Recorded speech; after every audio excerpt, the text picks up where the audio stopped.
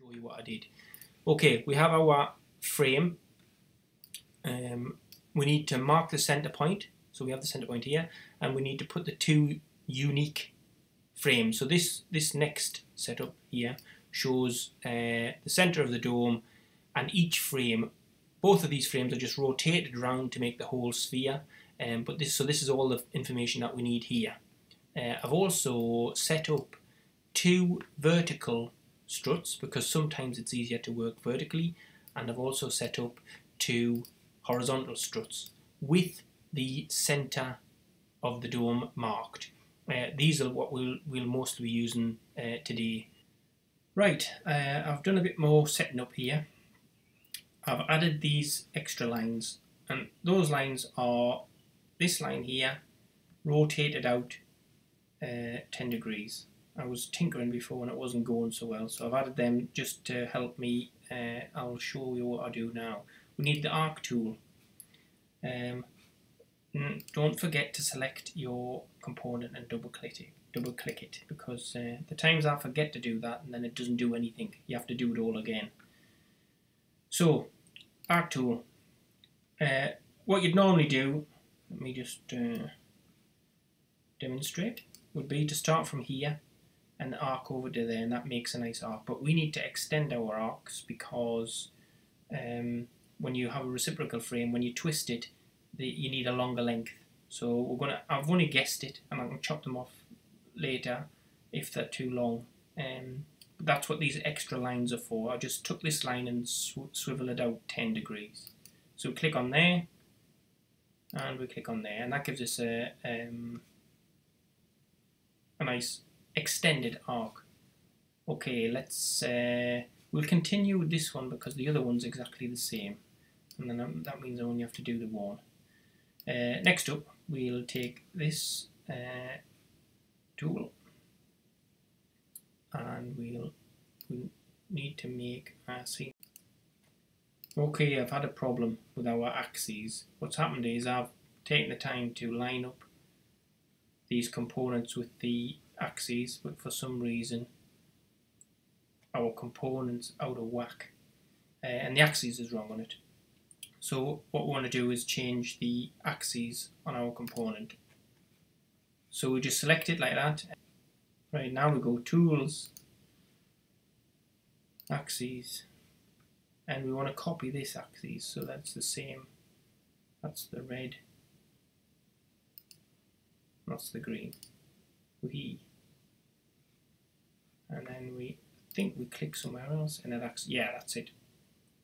Yeah let's update the axes. Right so now what we have is we've got a nice horizontal axis. Uh, the reason that is because when we draw this um, square with our um, square drawing tool rectangle tool yada yada it follows the axis automatically. Alright, let's move this now we've got a choice here. We can move this, we want to really move it up to here.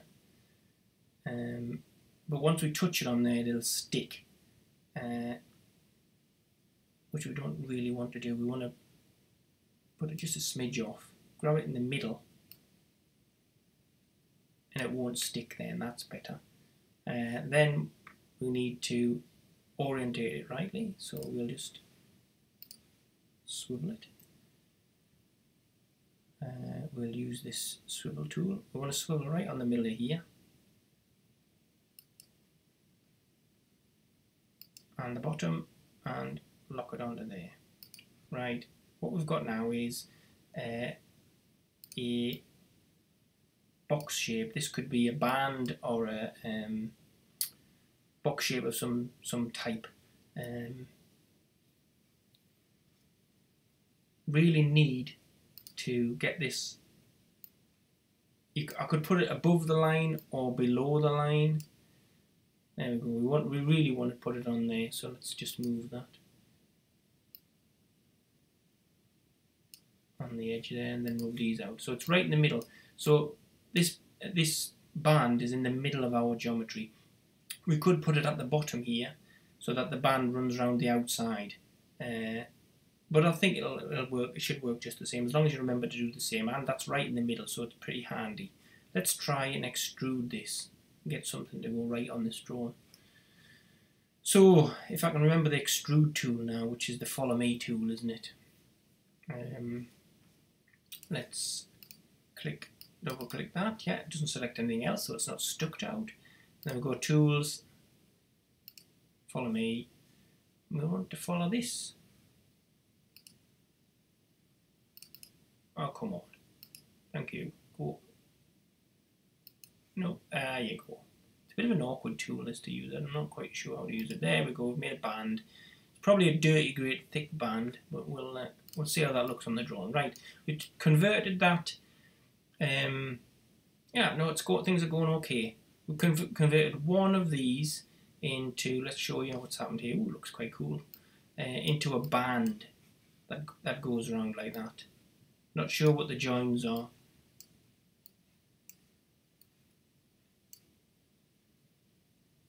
And it's a bit longer, that's what these bits sticking past are. Um, and that's that's our first component. Well, now what we have to do is we have to remember to do that exactly the same on the other one. So we've got to go 10, 10 degrees past, draw a line and extrude a box over it.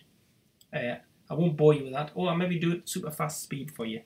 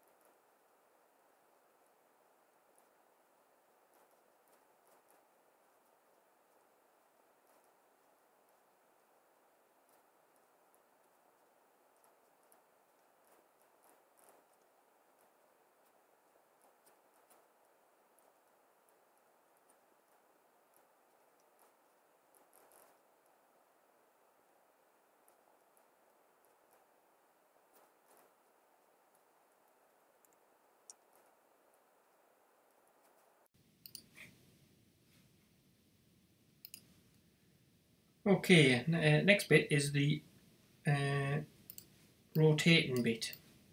We've left these lines in situ because we'll need them. Uh, what, what I need to do, I think, is draw a line. Center.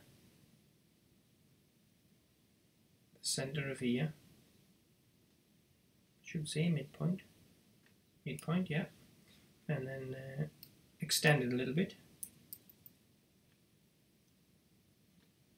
Uh, try a bit more.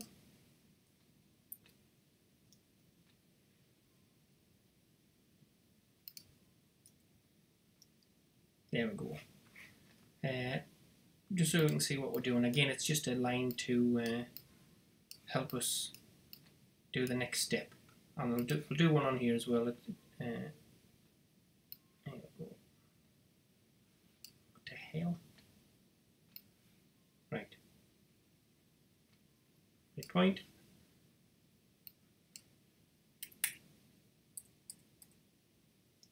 There we go, that was easy, that one. So we have two lines poking through the centre of our, what would you call them? Curved bands, eh? Right. select this component, double click it, so we're into it. Uh, triple click so we've selected our band and then place our rotate tool on top of here. Slide to the bottom. And then click anywhere really on here. And there we can rotate. We want to rotate clockwise. Uh, the last one we did was 20 odd degrees. I think we're going to need to do at least, let's do 24, 24 degrees. We'll see how that looks in a minute. Uh, I'll do this, do the other one next. So that's this one. Spin around a wee bit. Triple click. Sorry, double click to get into the component. Triple click. Select the band and then rotate this.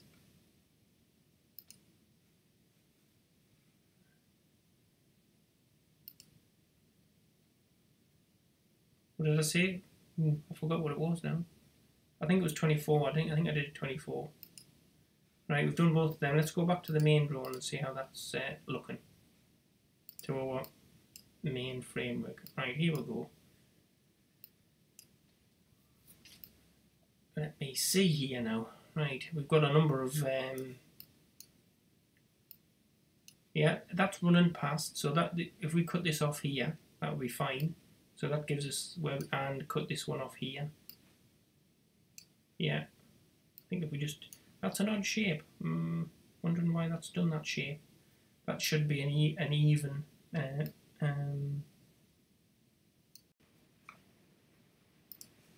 okay, um, this tutorial is getting a wee bit long, so I'll just quickly run through the last couple of stages. What I've done uh, next is I've tilted these um, things. I, I might be able to get un undo. I've got a bit ahead of myself without recording. Uh, let's go. No, leave that. Um, yeah, you can probably see it that this, that this is this end is tipped up and this end is tipped down. All I did was I put the rotate tool in the middle of this component and I just tilted up the top and dropped the bottom and I did uh, by about six degrees on this one. And I did the same on this one. If you have a look at the uh, main model you can just see that, that, that that's tipped this edge up. So they're not all um, touching each other because these we've got to put a bolt through these. So I've quickly done that uh, and I've started to round the ends like you would because uh, these ends are too long. So what I'll do next is I'll round these off um, that end and that end so the correct length and then I'll, I'll put some simulated bolts or something in, in and uh, then render it. So um, it's probably a bit boring to watch me round the ends off and that and it's simple enough anyone can do it so uh, well, I'll come back when that's done. Right, we've rounded the ends off on both of them. So now you can see that we've tipped them up so that they stack nicer and we've rounded the ends off. They're still colour coded so you can see the two different struts. Uh, green's the pent and red's the hex by uh, the equilateral by the look of it.